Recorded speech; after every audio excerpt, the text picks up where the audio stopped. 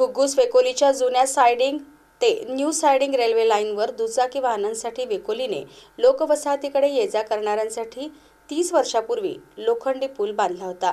त्या पुलावरून रहदारी सुरू ठेवणे धोकादायक असल्याने रेल्वे प्रशासनाने गुरुवारपासून बंदी केली. या पुलावरून दुचाकीस्वारांनी मार्गक्रमण करू नये असे आवाहन रेल्वे पोलीस निरीक्षक कृष्णानंद राव यांनी केले. कि बहुत दिनों से ये जो एफ़ बना था, जो जिस पर्पज के लिए बना था फुट ओवर ब्रिज किंतु यहाँ पे लोग बाइक लेके जा रहे थे।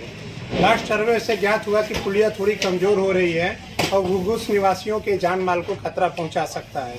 अतः रेलवे ने एक निर्णय लेते हुए यहाँ से बोर्डिंग और डिबोर्डिंग जो चढ़ने वाला और उतरने वाले दोनों साइड से इसको ब्लॉक कर रहे हैं। केवल जो पैदल पैदल से जाने वाले लोग हैं और साइकिल वाले लोग वो जा सकते हैं। बाइक वाले अब यहाँ से नहीं जाना है, वरना भविष्य में किसी भी प्रकार की हादसा हो सकती है। इसको लेकर रेलवे ने डिसीज़न लिया है और ये आज काम चल रहा है और भविष्य में भी घुघुस निवासियों से निवेदन है कि किसी भी प्रकार का इसमें इंटरफेयर ना करें, वरना यह कानूनन अपराध भी है और उनके भी जान माल को नुकसान पहुँच सकता है। वडी रस्त्यावर रेल्वे पुलाचे बांधकाम सुरू असल्याने जड वाहनांसाठी निर्बंध आहे. मात्र पोलीस अधीक्षकांच्या आदेशाला न जुमानता पोलिसांच्या डोळ्यासमोर जड वाहतूक सुरू आहे. या वाहतुकीमुळे नागरिक व वाहनचालक त्रस्त आहेत. वेकोलीच्या लोखंडी पुलावरून दुचाकीचा वापर होत असल्याने वर्दळ कमी होती. मात्र आता दुचाकी वाहनांची वर्दळ वाढणार आहे.